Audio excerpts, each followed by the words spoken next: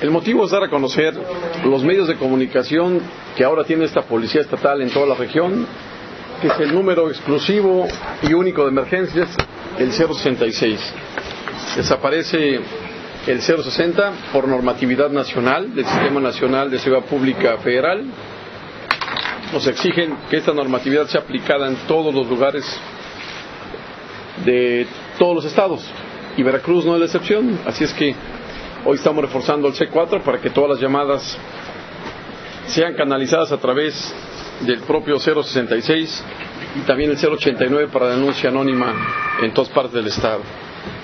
El otro, el otro tema importante que les queremos dar a conocer es el servicio nuevamente de vialidad de la Policía Vial, donde estaremos encontrando, seguiremos todavía este mes, dando advertencias, no infracciones, pero sí seremos con poca tolerancia en estacionamientos en doble fila y gente que provoque o personas que provoquen accidentes serán obviamente estacionados conforme a la ley y reglamento de tránsito y al mismo tiempo también todos los, los vehículos que no tengan documentos y que estén fuera de legalidad serán puestos a disposición del Ministerio Público.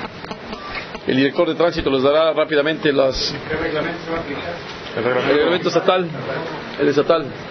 El reglamento estatal. Desde que estamos nosotros es el reglamento Así es, estatal. te- tenemos registrados de que estaba funcionando de- el sistema de seguridad vial de la Secretaría de Seguridad Pública, 17 accidentes, que se han generado 7 infracciones por accidente, se han elaborado recomendaciones para uso de casco en motocicleta, un total de 124, recomendaciones por cinturón de seguridad que es obligatorio 287 y recomendaciones porque los menores vayan sentados en el asiento de atrás con el cinturón debidamente puesto 61.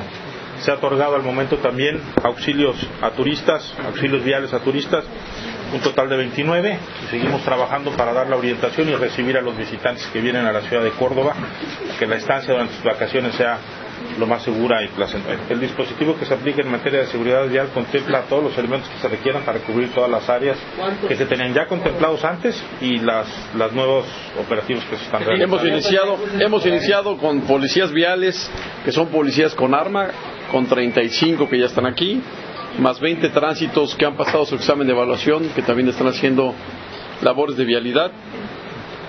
Y tenemos también vehículos que ya están desplegados junto con la parte de motociclistas. Son los suficientes. Habrá que traer, dependiendo la magnitud de la vialidad, dependiendo del programa de vinculación y participación y también la difusión que tenemos que hacer para que todos sumemos a la vialidad y a la seguridad en esta zona. Es un trabajo difícil que vamos a iniciar con mucho esmero. Hemos trasladado aquí más de 60 personas, compañeros nuestros que van a, visitar a las escuelas, vamos a visitar a los empresarios, vamos a hacer la difusión y también la prevención del delito y sobre todo la vinculación de participación y también cultura vial. ¿Cuál es la cultura vial que vamos a seguir? La que vamos a hacer no solamente en trípticos, ni tampoco en escuelas, ni tampoco con- a través de su gran e importante difusión de los medios de comunicación que ustedes representan. Lo que queremos hacer es cómo hacer que el, el conductor que viola el reglamento de tránsito sea señalado de manera educada, sin corrupción y también de manera muy rígida por el propio policía vial. Pasarte un semáforo en rojo hoy en Veracruz, somos de los estados más bajos en las multas. Ya estamos en espera que el Congreso apruebe las nuevas cuotas que vamos a poner en el reglamento de sanciones y también al mismo tiempo vamos a poner también algunos, algunas faltas administrativas como también eh, la falta de, de- o, o la daños a propiedad privada que venga siendo útil para seguridad pública, es decir, el- la multa que hoy tenemos eh, por agredir a un policía es de 300 pesos, cuando en México en otros lugares es de 8 mil pesos. Y estamos ya en espera de que la- la- el propio Congreso nos pueda aprobar estas, estos nuevos cambios. Señor, se le va a dar trato turístico a Córdoba. Va a haber policías bilingües.